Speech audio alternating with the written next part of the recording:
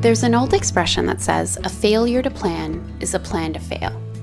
You might have learned this lesson the hard way, like having to make a return trip to the store because you forgot something, like tomatoes.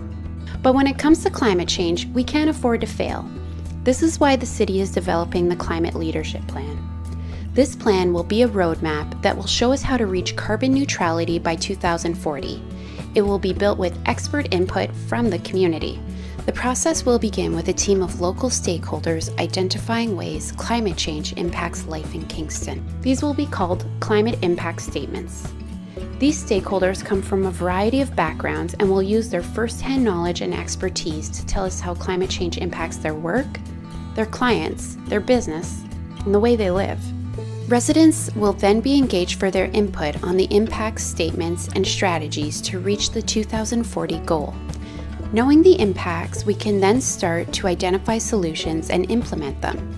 They will also help us understand what could happen if we don't act now. The Climate Leadership Plan is one of the first like it in Canada. But what sets it apart? Well, unlike other climate change management strategies, the Climate Leadership Plan will address both adaptation and mitigation. Let's dive in a little bit. Climate change adaptation is the acknowledgement that climate change is already having an impact on our community and aims to look at ways we can respond and adapt to those changes.